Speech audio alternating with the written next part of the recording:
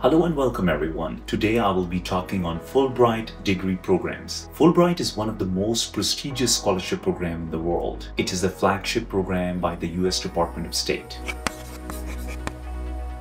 It covers full tuition fee, monthly stipend, health insurance, air tickets, book allowance, visa fee, and last but not the least, it also covers your computer and settling in allowance. So if you're applying for a master's degree, then you must have 16 years of education, which can be 4 years bachelor's degree or 2 years bachelor's and 2 years master's degree. However, if you are applying for a PhD program, then you must have 18 years of education and you must have a master's or MPhil degree. In order to be considered for the scholarship, you must submit an online application form. Along with that, you'll be required to submit three reference letters, GRE General, your mark sheets and transcripts, and finally, if you're shortlisted, you will be asked to submit your Duolingo English Proficiency Test.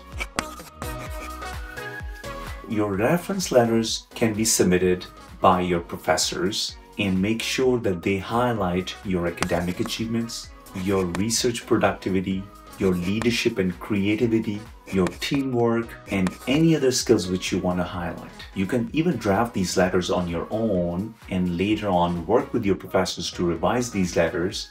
And finally, your professors can submit these letters via application portal online. Similarly, for GRE General, you must take GRE General before the application deadline. If you are mathematics or engineering major, then your quantitative section will carry more weight when compared with the verbal section. However, if you are in social sciences or life sciences, then your verbal section will carry more weight as compared to the quantitative section.